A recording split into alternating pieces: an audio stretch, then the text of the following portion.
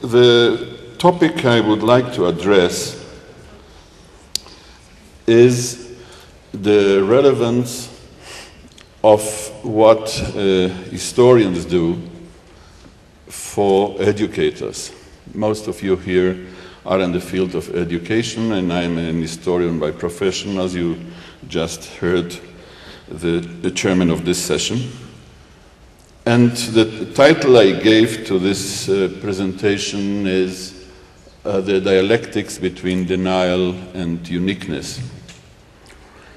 Um, and I would like also to link what I'm going to say to what you heard this morning from Professor Benedict and from Professor Wippermann, because I believe that uh, ordinary people do not read textbooks, and I believe that ordinary people do not go to medical schools where they are, they are taught how to treat uh, handicapped uh, in, in, in hospitals. And ordinary people, also in Germany in the 30s, drink Coca Cola and go to the movies and uh, watch the movies made by uh, those who then were popular, I guess, Bette Davis and, uh, and other names that uh, today we, we, most of us uh, forgot. And if educators would present German society in the 30s as a highly ideologized society, where people read textbooks on the treatment of, of the handicapped, or were interested in biology and social Darwinism, this will convert our topic in totally irrelevant for the 21st century. Because the student in class will say, I'm not concerned about all these things. Nowadays, the society is different. We watch football, we watch soccer. We are not reading all these weird texts that Germans used to read there in the 30s. So we can study that as we study any other weird society in, uh, in, in Java in the 14th century or something like that. And this is not what we want to achieve. We would like to see the relevance of what went on in Germany in the 30s to the reality of the 15, 16, 17 year old teenager nowadays. I think that the assumption that German society then was highly ideologized is based on a, on a uh, improper understanding of the dynamics of an ordinary society.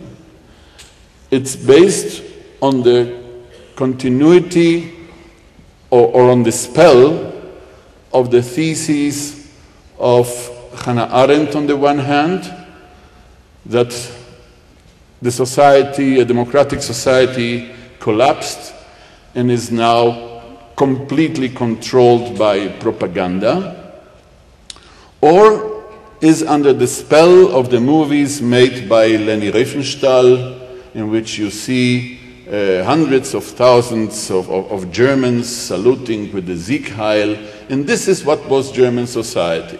So if this was true, that German society in the 30s was millions or 60 million people saluting Sieg Heil in, in, in, in, in uh, in, uh, in, in, mass demonstrations, reading weird textbooks on biology, uh, uh, uh, being immersed in more weird textbooks on, on the treatment of, of handicapped. So all this is totally irrelevant to us. And I think that the opposite is the true. German society in the 30s was an ordinary society. Those who went to medical school definitely read those books relevant to their studies. And those who went to study biology definitely learned what was relevant to their studies. And in those years, those who went to medical school learned about the extermination of, of segments in society that are a problem. And this was not weird, this was more or less normative, not only among right wing um, sec uh, sectors, but also in, uh, uh, among people who were, I would say, close to, to a, a more leftist, humanistic view of society. That also there, when you read them at the beginning of the century, even you can say, you can see that uh, they suggest the physical elimination of people who cannot function, who, who are addicts, who are junkies, who, who, are, who are alcoholics. And uh, the, the idea of exterminating people with gas was even proposed by people who were not Nazis and by, by some who were not even German. So it was not weird in those circles to do this. But this has nothing to do with ordinary society. Ordinary society never, never was interested in all these things. And this is the problem that the Nazis had. We are going now to do something which has never been done to solve the Jewish question. They never said we are going to solve the Zigeunerfrage, because the Zigeunerfrage was not a universal, the, the, the gypsy question was not a universal problem throughout, throughout the centuries. But the Jewish question was a universal problem throughout the centuries since those statements of, of, of what you call St. John, and later on throughout the centuries by, uh, by other uh, theologians. This was a crucial issue in, in, in Western civilization. And the Nazis said, We are going to solve this once and forever. And this will become a unique, a unique deed. But ha- had German society been weird, they would have accepted that statement of the Nazis. But since these people were ordinary Germans, how do you transfer to ordinary Germans that you are going to solve once and forever the Jewish question? So, what you do is you do not transfer it. Neither will you transfer it when, it, uh, uh when, when, you approach the non Germans, which means the, the uh, ordinary population in, in, in the rest of the world. Uh, this uh, thesis that I have, I would like to give some empirical evidence. Um,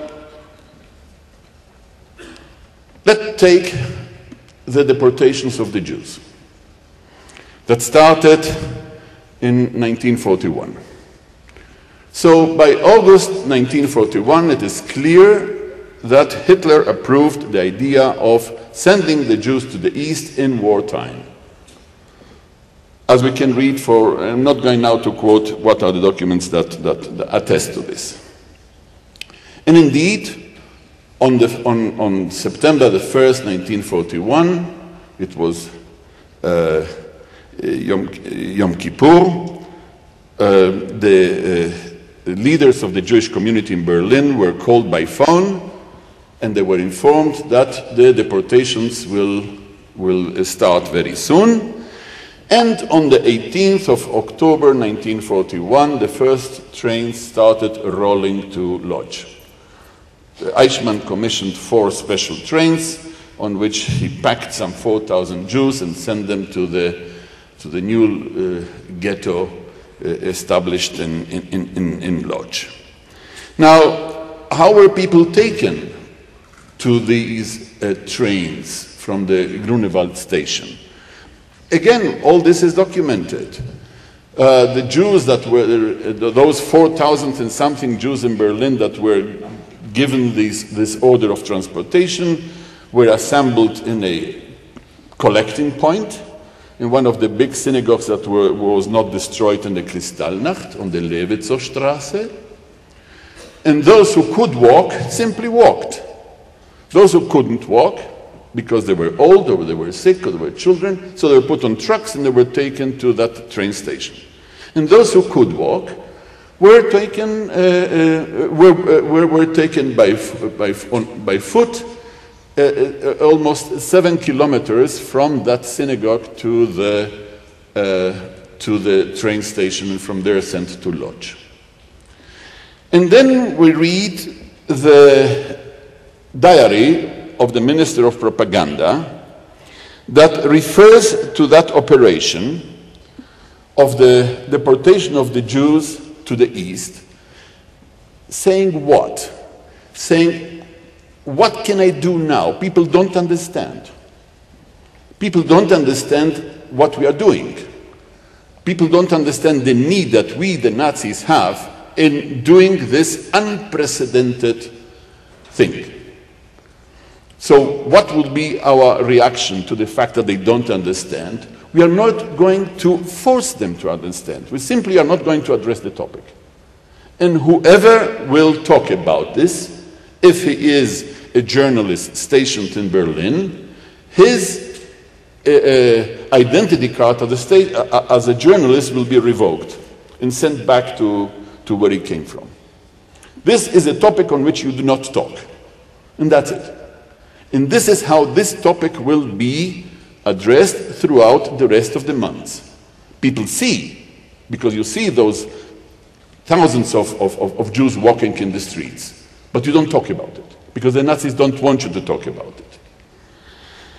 You take the declaration of the Allies of December 1942. And I'm also taking an event that everybody knows about it. And again, the Allies on the 17th of December unanimously in Washington, in, in, in, uh, in, in Moscow, and in London declared that the Jews of Europe are being exterminated. And then you look at the response of the Nazis to that declaration. How did the Ministry of Propaganda respond to that declaration? It did not respond to that declaration.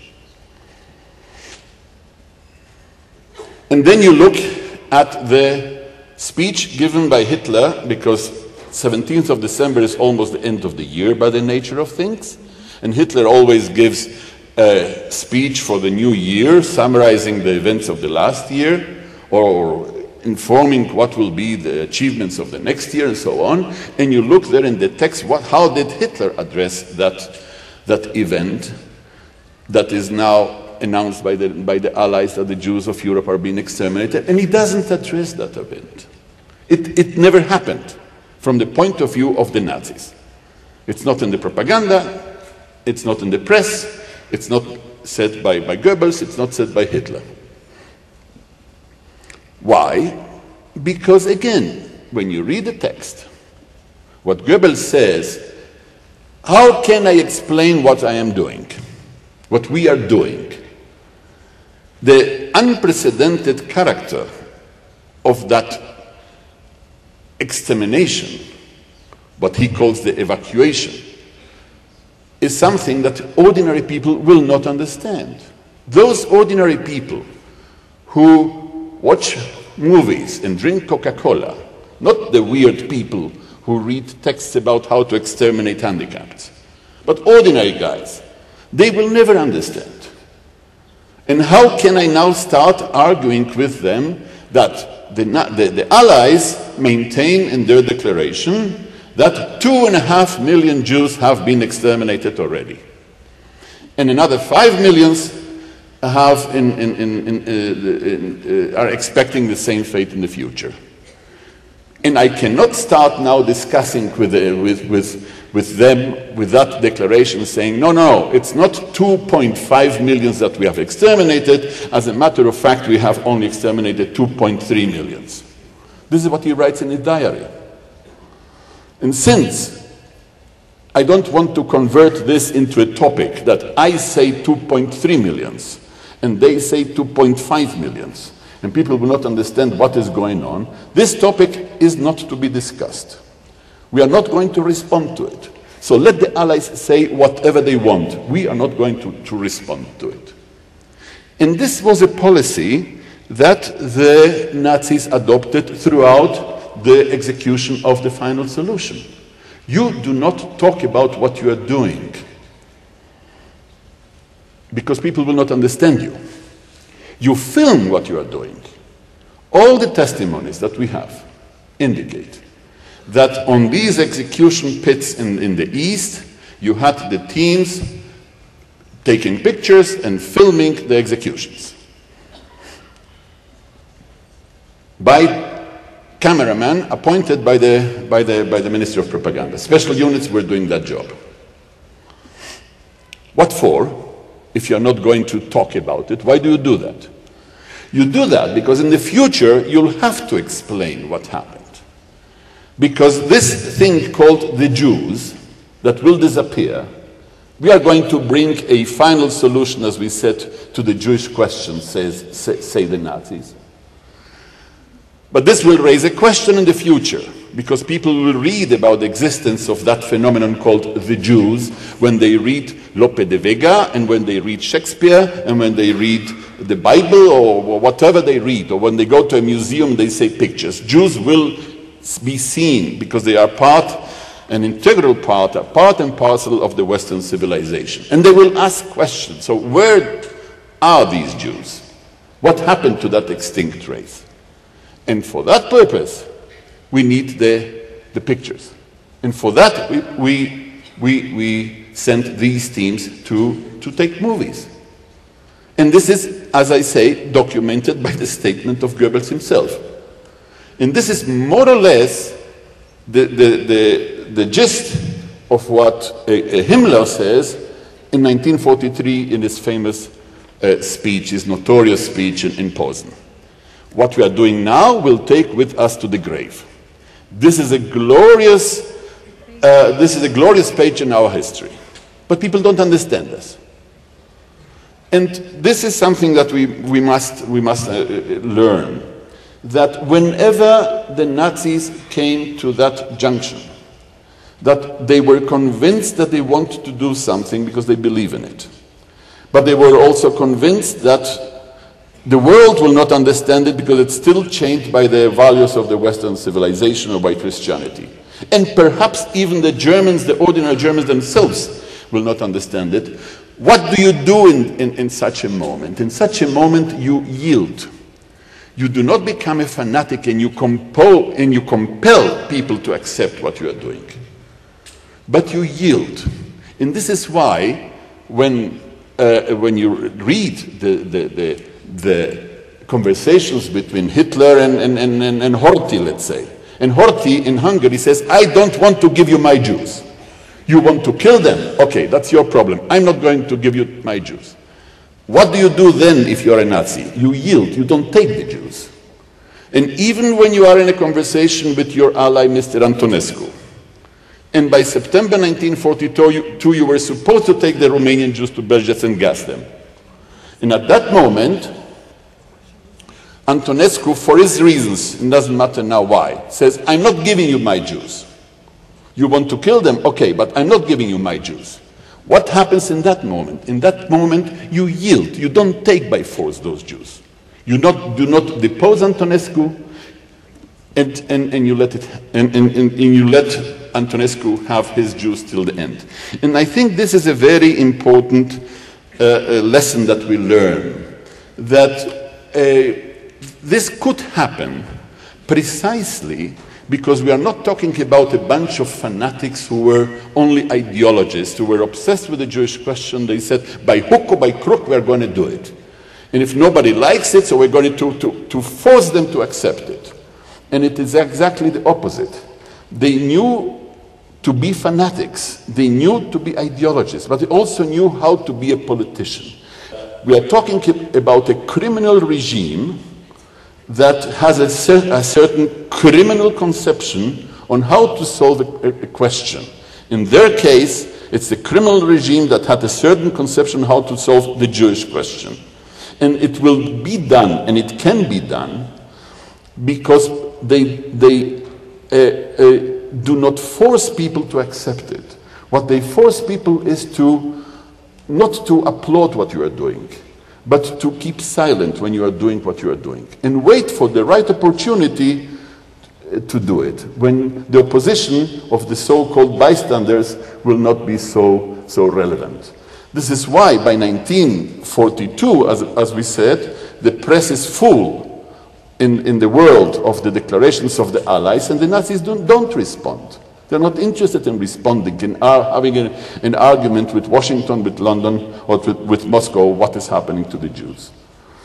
In 1944, when you read the, uh, the, the, protocols of the so-called protocols of Auschwitz, when uh, uh, uh two Jews who had escaped from, uh, from Auschwitz uh, informed the world on what was happening in that extermination center. And in June 1944, again, the world press, especially in the neutral countries, especially in Switzerland, is full with, with details on what is going on in Auschwitz. What do you do at that moment if you are a Nazi? Do you argue with Mr. And with Mr. Wetzler and say, no, this is not so? You don't argue, don't say anything. You just continue with what you're doing. And let people think if what you're doing is what is really happening or not. This is the way criminal regimes act. And this is why what happened then is relevant for today. Thank you very much.